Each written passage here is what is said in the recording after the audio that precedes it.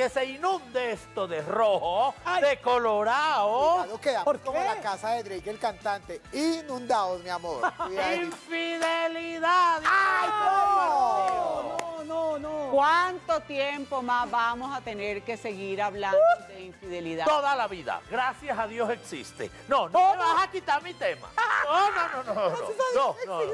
¿Qué tal la gente pura, cándida? No, no, no, no. no. ¿De qué comeríamos, Mari? Tengo muchas lecciones eh, que aprender. Porque yo Ah. no doy lecciones. Tengo mucho que aprender porque yo afortunadamente aprendo en cuerpo ajeno. Ah, no, mi amor. No, pues es que en ese pobre cuerpo tan flaco que vas a aprender. Sentémonos mejor. Sentémonos.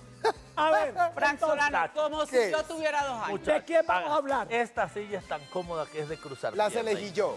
Entonces, gracias, Vargas. Ustedes saben que hay personas que atraen a otro tipo de personas y dicen, uy, pero yo porque tengo un imán para los infieles. Como yo a Oye, pero yo porque tengo un, imán para los tacaños. Oye, yo tengo una... Para los mantenidos. ¿Pero Ah. quién? Te estoy hablando, espérate. Ah. ¿Tú conoces a Sandra Guzmán? Niño, Ay, no me digas. que Sandra Guzmán se fue a vivir fuera del país, España. encontró allá el amor de su vida, nos lo presentó A acá en la nosotros. red. ¿Y qué pasó? Pero hasta ahí, ¿qué pasó? Sandra, la red es toda tuya, despáchate. No, pañuelos para llorar. de, de- de evidenciar lo que estaba pasando era un poco protegerme de lo que él pudiera hacer. Porque en medio de su ira sí que me amenazó, me amenazó con que iba a publicar un montón de pantallazos de nuestras conversaciones personales, de las me lo dijo, que iba a publicar conversaciones en las que hablábamos de la familia, eh, que no me iban a dejar bien parada, si voy a mostrar, ¿qué creías? Que la intimidad la ibas a vivir con una muñeca de Mattel, salió grabándome porque sabía que es un punto un punto delicado, ¿no? Yo dije, ¿esto lo evidencio yo o me voy al carajo? Me di cuenta que yo caí en una relación que se denomina relación de refuerzo intermitente. Es una relación tóxica, pero es una relación que se vuelve adictiva, Nata. Eh, yo a él le decía todo el tiempo, es que tú a mí hoy me llevas al cielo y mañana me llevas al infierno. Frías, no me gusta que me hablen mal, no me gusta que me traten mal, no me gusta que me den orden, no me gusta que sentir que se me imponen cosas. Tengo un carácter muy decidido y, y conflictuaba mucho. Entonces, en ese ejercicio llega un momento en el que él pide tiempo. Quiero, quiero trabajar en esa parte que a ti no te gusta. Fue exactamente la frase. Él me pidió tiempo un domingo y el sábado llamó, pero yo no le contesté por accidente, porque yo estaba ocupada y me terminó por texto. Me dijo, esto se acaba. Su ventanal es grande, todo estaba apagado, pero yo sabía que estaba ahí adentro. Yo sabía que estaba ahí.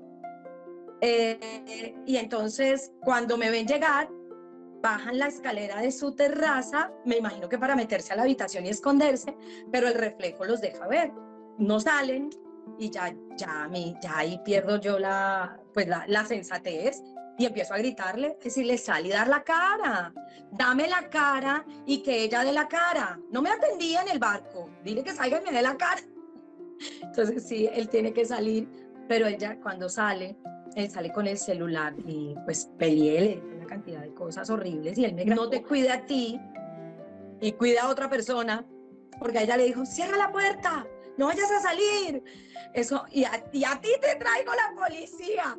Eso me hizo sentir muy mal. Obré mal por ir a buscarlo, pero yo iba a buscarlo con una muy buena intención. Solo que me, me, me los encuentro además en ropa interior. Y él recién bañado. Es en serio que uno está en estado de enajenación. Yo ahora lo evalúo y digo, ¿pero qué me pasó? Mis hijas me lo decían, mamá, estamos muy preocupadas porque es que te hemos visto separarte un montón de veces y tú no eres así. Me había vuelto adicta, pero cuando salgo de ahí, sí, sí, claro que, que, que, que me doy cuenta que yo estuve todo el tiempo peleando. Yo pienso que si esto fue solo por... Entonces sí, seguiría apostándole al amor, por supuesto. Tengo una cartelera enorme con todos mis requerimientos, pero yo voy firme y con fe. ¡Ay! De terror.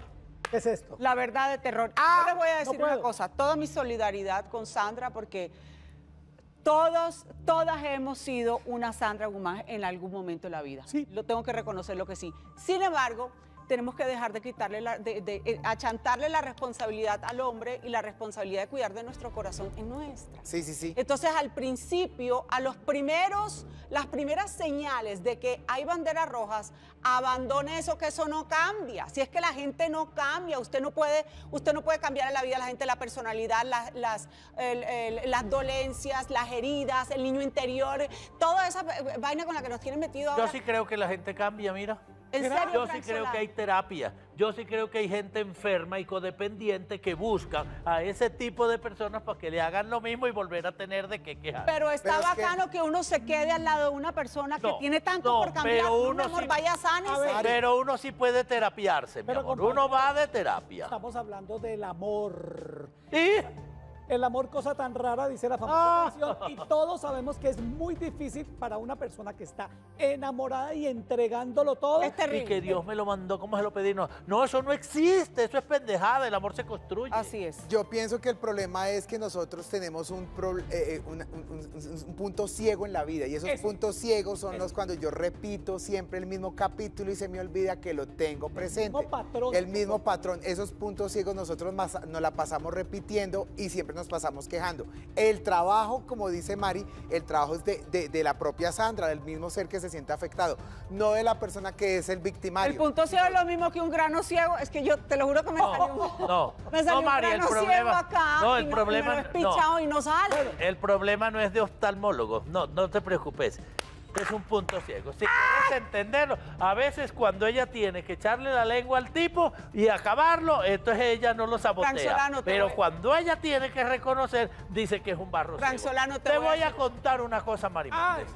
A Guanilé, la vida sigue. Guapa, La vida el continúa musical. y esta Sí, mujer me encanta, yo ya lo vi. sabe, sabe que definitivamente lo pasado pisado y que ella tiene que seguir adelante con su vida porque ya esto es Barcelona, Sí, Sevilla, Valencia, Valencia. Wow. y en Bilbao. Esta mujer lo que tiene es camello Yo a ya vi de ese show, este musical, me lo en- acá en Bogotá, Ah, me lo parrandié en diciembre, me lo vuelvo a parrandear este año y lo que sea. Voy a dejar claro porque Frank. Solano, como para variar, no me dejó terminar. ¡Ay! Este señor, usted es un desgraciado. ¡Ay! Uno con ¿Qué la fue? Sí, señor. Este tipo de hombres están al acecho todo el tiempo buscando a ver cuál es the weakest link. The weakest link es la más débil. Y se le presenta una mujer que de verdad quiere enamorarse, que tiene ganas de volver a amar y, y- y- y de vivir el amor y se empieza a armar una película y este man le empieza a decir la película que ella quiere oír. Pero muy seguramente Ahí te mostró está, también de banderita Mari. roja. Mira, Para eso se necesita, siempre hay una víctima y un victimario. Correcto. Si existe el agresor, tiene que existir el agredido y se buscan. Pero Como ya desde el primer momento te esperas, te esperas. Ya desde el primer momento que uno le dicen, "Mm, vamos a terminar durante Dame un par tiempo. de días y después volvemos. No, no, no, tú sales de mi casa y te vas. Chao. Desde que le Ay, vea. Mari, Toda la vida se ha dicho que para que haya un trepado tiene que haber un agachado. Ajá. Digamos. Te perfecto. deseamos para lo mejor, Sandra. Lo mejor para ti, mi Lo amor, mejor te lo mereces. ella.